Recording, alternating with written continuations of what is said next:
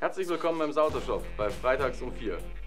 Heute haben wir was ganz Spezielles für euch. Ein paar von euch haben es vielleicht schon gesehen in unseren Social Media Beiträgen. Wir haben die Shaper Origin bei uns im Shop. Was macht die Shaper Origin eigentlich so besonders? Für welche Anwendung ist die Origin eigentlich gedacht? Und wie funktioniert das Ding technisch überhaupt? Brauche ich oder kann ich auch in meiner Werkstatt die Origin überhaupt nutzen? Das werden wir heute klären. Also, fangen wir an. Was macht die Shaper Origin jetzt so besonders? Es ist halt die weltweit erste handgeführte CNC-Fräse. Ja, ist es jetzt eine Handoberfräse oder eine CNC-Fräse? Naja, beides. Du führst sie mit der Hand, aber die Maschine kümmert sich darum, dass die Fräsung nachher besser aussieht, als wenn ich es per Hand gefräst hätte. Das heißt, wir haben jetzt das Beste aus beiden Welten in einer Maschine. Sozusagen, ja. Ja, feine Sache. Wofür kann ich sie denn jetzt eigentlich genau verwenden, die Shaper? Du kannst Beschläge einlassen, du kannst alle möglichen Arten von Verbindungen mit Fräsen, Zinkenverbindungen, äh, Boxjoints. Sag du es mir.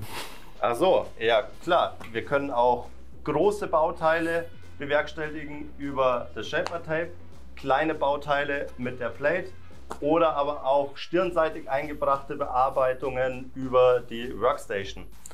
Und wenn ich sie mitnehmen will, packe ich sie in meinen Sustainer, nehme sie mit auf Baustelle und kann direkt vor Ort in Bestandsteile, in eine Theke noch ein Logo reinfräsen oder was auch immer mir einfällt. Jetzt haben wir da so viel Technik drin. Wie funktioniert das Ganze denn überhaupt?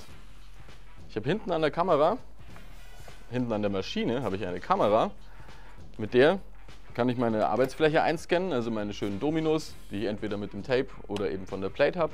Und damit weiß die Maschine quasi, wo sie zu Hause ist. Ach so, okay. Das heißt, durch diese Dominos und das Einscannen interpoliert die Maschine ihre genaue Position. Ganz genau. Und deswegen ist auch alles, was du hier oben auf dem Display siehst, nur Fake. Die Kamera hat vorher alles abgescannt, damit weiß die Maschine, wo sie steht und zeigt mir eben nur an, wie dann später meine Fräsung da unten aussehen kann. Und deswegen ist es auch so, dass wenn ich meine Hand vor die Kamera jetzt halte, auch die Hand gar nicht mehr im Display angezeigt wird. Ganz genau. Und dadurch, dass die Maschine eben genau weiß, wo sie unterwegs ist, kann sie halt beim Fräsen auch korrigieren. Das heißt, mein Motor ist gelagert und kann in jede Richtung einige Millimeter ausgleichen. Das heißt, ich muss eine Linie nicht perfekt gerade lang fahren. Darum kümmert sich die Maschine. Dafür ist es auch eine handgeführte CNC. So, und jetzt werden wir euch noch die Technik zeigen. Wir haben mal was Kleines vorbereitet. Wir haben eine Datei auf unsere Shaper geladen. In der Kamera müsstet ihr es vielleicht auch sehen. Wir haben hier eine kleine Fräskontur. Und ja, wir machen das Ganze jetzt mal trocken als Aircut. Auch ein super Feature. Ich kann direkt bei meiner Frästiefe sagen, ja, wir machen jetzt einfach nur Aircut. Bedeutet, wir fräsen überhalb vom Material und schauen einfach mal, ob das alles so funktioniert, wie wir uns das vorstellen. Legen wir los. Im Endeffekt muss ich hier nur einmal mein Knöpfchen drücken, Fräser fährt runter und dann kann ich hier versuchen, meine Kontur entlang zu fahren. Man sieht schon, ich muss die nicht genau treffen, die Maschine regelt immer schön nach. Und gerade in so feinen Kanten, wie es dann hier ist, kann ich einfach nur meinen Knopf gedrückt halten und dann fährt er automatisch möglichst innerhalb von meinem Kreis das Ganze nach. Und so kann ich hier schön mit Schwung immer zu meiner Kante wieder fahren. Und Was passiert jetzt, wenn ich die Kontur verlasse? wenn ich die Kontur verlasse, fährt die Maschine nach oben, so damit ich keine Beschädigung an meinem Werkstück habe. Und wenn ich wieder weitermachen möchte, fahre ich einfach wieder dahin, wo ich aufgehört habe, drücke einmal meinen grünen Knopf, Fräser fährt runter und ich kann wieder ganz normal weiter meine Kontur abfahren oder eben in den engen Kurvenbereichen auch automatisch abfahren lassen. Und so komme ich da eigentlich ganz angenehm, ja, wenn man eben nicht trifft, kümmert sich die Maschine drum und weiter geht's. Einmal rum. Na. So. Letzter Versuch. Im Trockenmodus ist das immer ein bisschen schwierig.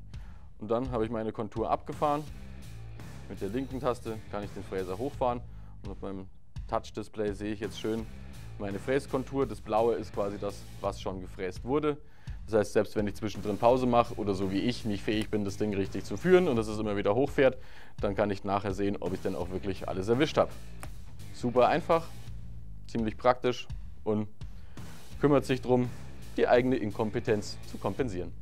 Cool, dann machen wir das Ganze jetzt aber auch mal unter Sparen. Na dann, Ich will Späne sehen. machen wir gerne.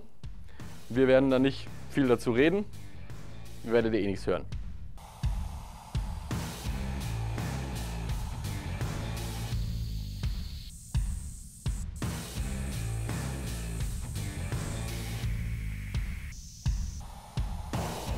So, hat gar nicht so viele Späne gegeben.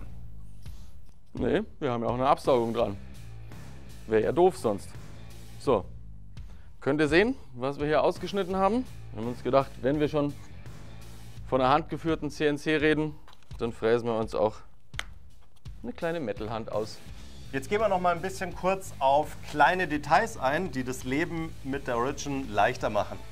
Und zwar eben, wenn ich hier eintauche und ich fräse ungefähr hier entlang und warum auch immer, ich rutsche eben mal ab und verlasse die Kontur, erkennt das natürlich die Origin sofort und zieht den Kopf nach oben, damit ich keine Verletzung von meinem Bauteil habe.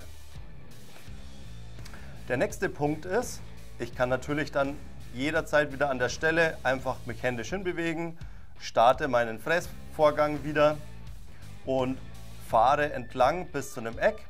Und ich könnte jetzt ganz klar dieses Eck wieder selbst händisch fahren. Oder ich lasse es auch ganz einfach von der Origin automatisch machen, indem ich einfach nur einen Knopf drücke und sie fährt automatisch hier rum und kann jetzt wieder händisch meine Gerade fahren bis zu dem nächsten kleinen Eck, positioniere mich, drücke den Knopf, sie fährt automatisch um das Eck und ich kann hier wunderbar das Ganze mir ganz fein von der Maschine regeln lassen und kann auch einfach wieder so schnell abbrechen. Letzte Frage. Wer oder für wen ist die Shaper Origin gemacht oder auch gedacht? Für jeden, ob Experte oder Einsteiger, durch die Features ist der Einstieg leicht und kann jegliche Arbeiten in meiner Werkstatt oder aber auch unterwegs auf der Baustelle damit lösen und bearbeiten. Und ich habe dann noch so nette eingebaute Features wie eine komplette Beschlagsdatenbank. Ich gehe einfach im Shaper Hub auf deren Webseite, suche mir meinen Beschlag aus, den ich gerne nutzen möchte, lade mir es direkt auf meine Maschine runter und kann mir sofort meine Topfbänder, meine Sassbänder, was auch immer ich haben möchte, direkt gleich in mein Werkstück einfräsen. Perfekt und passgenau. Von daher gemacht für den Schreiner, für den Hobbyhandwerker, der wirklich professionelle Arbeit abliefern möchte.